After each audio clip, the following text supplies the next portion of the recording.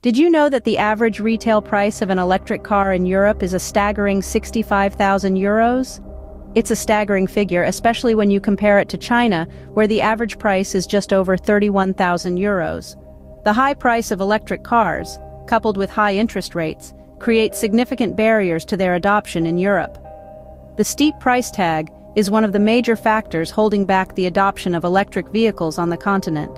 In a game-changing move, Tesla plans to build a 25,000 euro car at its factory near Berlin.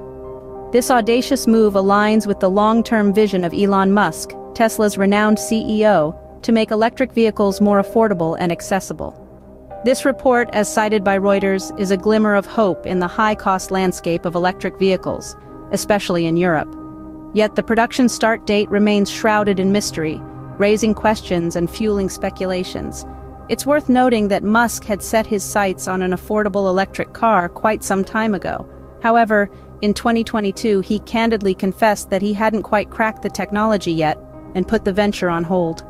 Elon Musk had long planned to make a more affordable electric car, however in 2022 he admitted that he had not yet mastered the technology and shelved the venture. If Tesla's plans come to fruition, the impact on the electric car market could be significant. The current high cost of electric vehicles has been a key roadblock to their widespread adoption. But imagine the shift if Tesla, a leader in electric vehicle technology, successfully introduces a more affordable version. We could see a surge in adoption rates as more people gain access to this greener form of transportation. What's more, Tesla's move could set a precedent for other manufacturers.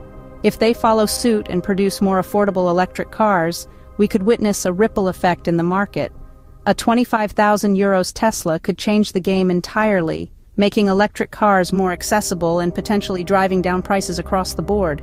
If you find this content informative and are excited about the future of electric vehicles, please like the video and subscribe to the channel. I am working tirelessly to bring you the latest insights and analysis on the financial future of electric cars and other green technologies. If you're as passionate about these topics as I am, it would mean the world to me if you showed your support with a simple click.